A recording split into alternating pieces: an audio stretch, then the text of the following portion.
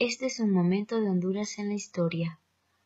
Un día como hoy, 7 de diciembre de 1948, inician las transmisiones en Radio América. Inició en las frecuencias de 6410 en onda corta con una potencia de 6 kW y 1270 en onda media con 3 kW.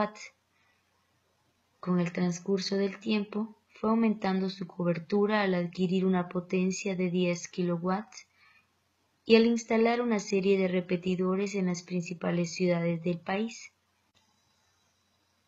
Originalmente perteneció al señor Sergio Castellón, quien años después accedió a traspasar el control de la emisora a Rafael Silvio Peña, ciudadano de origen cubano con mucha experiencia en radio, que llegó al país en 1947 con el propósito de organizar HRQ, Radio Suyapa en San Pedro Sula, emisora del coronel Eduardo Galeano.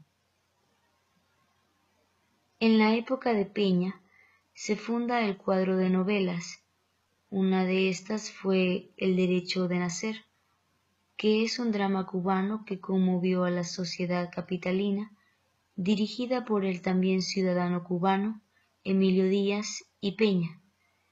Para este tiempo en Honduras no existían grabadoras y los efectos que se utilizaban eran cortinas musicales y en directo.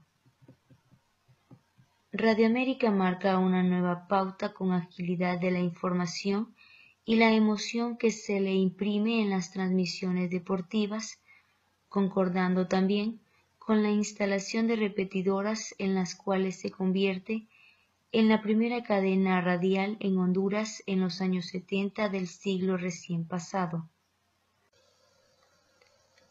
Radio América, la principal emisora del grupo América Multimedios, es una emisora de noticias y deportes con señal a nivel nacional, con frecuencia en las principales ciudades del país.